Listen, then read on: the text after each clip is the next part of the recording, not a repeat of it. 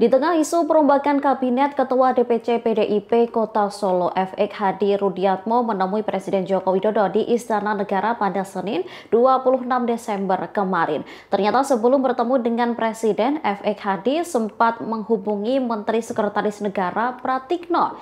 Terungkap percakapan keduanya. Ketua DPC PDIP Kota Solo ini menghubungi Pratikno melalui WhatsApp pada Jumat 23 Desember. Pesan Rudi pun baru dibalas Pratikno dua hari setelahnya.